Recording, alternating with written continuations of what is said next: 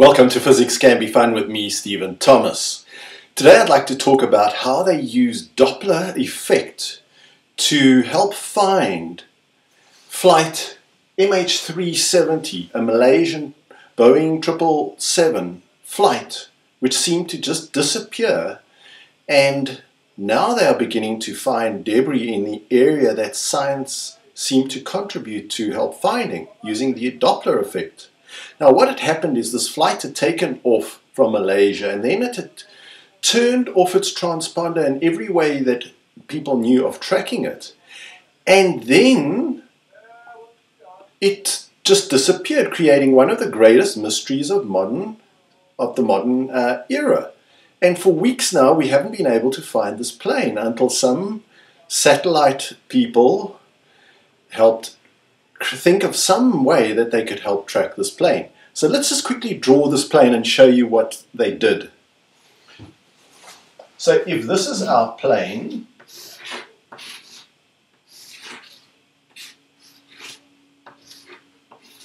here's our Boeing 777 flight MH370. What they found was that even though everything had been switched off there was, I believe it's in the wing, something that sends out a ping every hour to a satellite. So here's the satellite. Let's give it some solar panels. And this ping was of a certain frequency. And every hour for five hours this plane pinged. And after that there were no more pings so they could assume that the plane had crashed. So it had no electronics to send out the ping anymore. Now, what we, the scientists, know is that this ping is an electromagnetic wave. It's a magnetic wave, and these waves all travel at the speed of light, which is abbreviated c. And this c has a certain speed or velocity of 3 times 10 to the 8 meters per second. So that's the SI units. 3 times 10 to the 8 meters per second. So they knew the speed at which this signal was sent to the satellite. And these people were able to time how long this signal traveling at the speed of, of light took.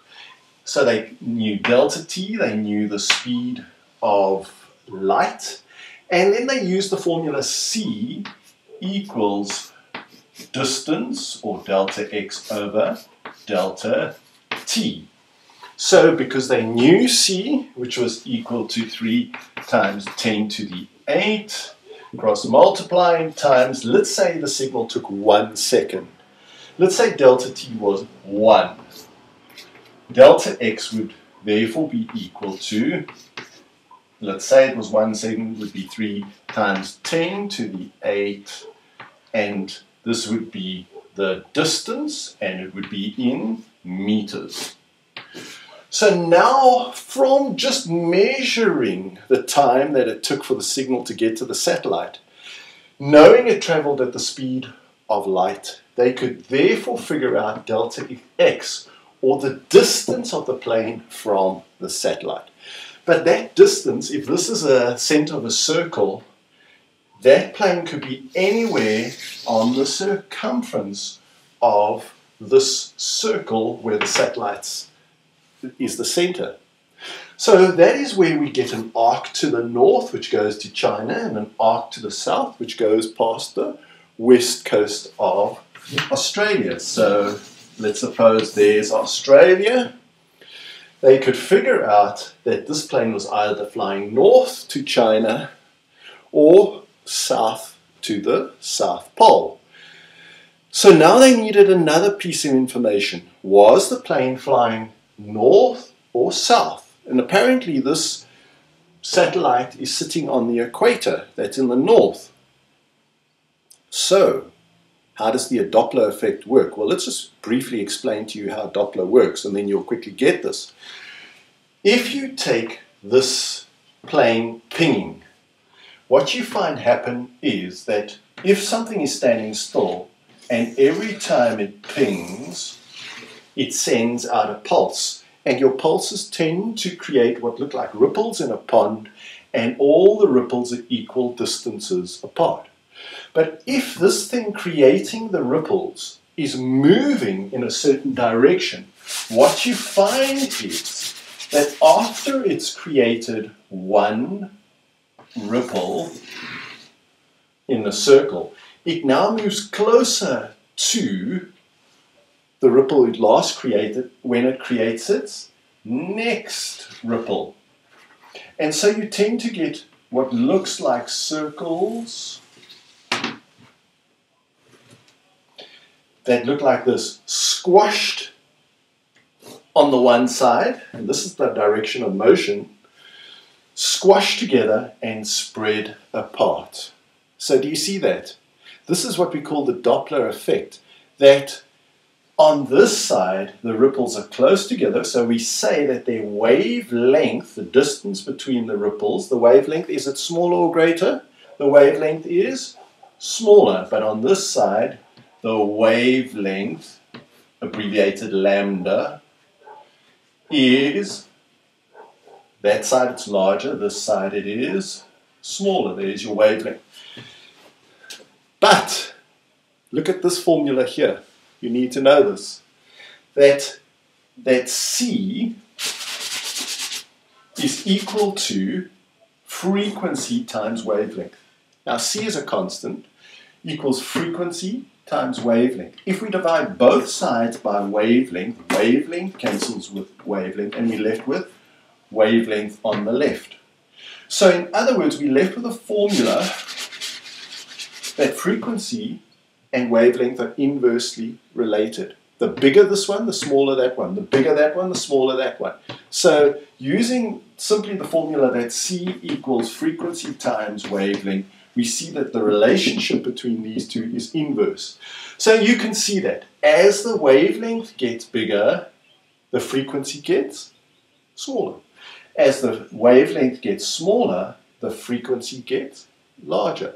So here, the frequency is going to be getting bigger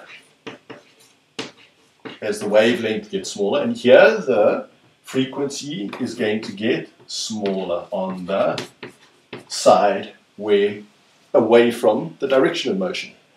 Okay, now how did they use that? Well, if this satellite's in the north, if the plane is flying south, then the Doppler pattern will look like this, that the pings will be spread out. The wavelength will be spread out. The frequency will therefore become less. As the wavelength gets bigger, the frequency gets less. And if, however, the plane is flying north, then the frequency is going to be greater and the wavelength smaller. So this is what they did. They listened to the pings, the actual frequency of the ping which they knew. And they could see that the ping's frequency was lower and the wavelength was longer. The frequency was lower. There were less pings per second.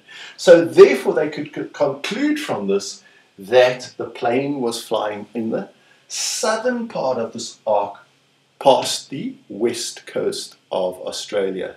Do you see that? So now they could say simply because the frequency was decreased, and that's the Doppler effect, if something is moving away from the source, say away from the source, then the frequency is lower, and if it's moving towards the source, the frequency is higher. And so they could they'd now determined that the plane was flying somewhere on this arc. And because they knew the speed of the plane approximately, the speed of the plane was given at um, 450 knots or 232 meters per second. That's approximately what the plane is flying. And then it flew for five hours. They could more or less tell where it was going to end up. So it was on the arc, flying towards the south, and they could figure out where it was going to end up.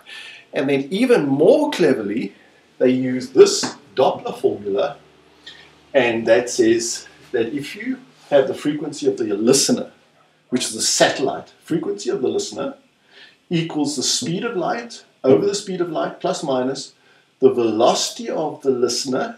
Now the velocity of the listener is the velocity of the satellite in space. They know that. And let's suppose it was stationary and it was zero, a geostationary satellite. Then maybe that's zero, but I doubt it. But let's say so. They know C, they know that, they know C, and now they can work out the velocity of the source of the ping, which is the plane, and this is the velocity relative to the satellite.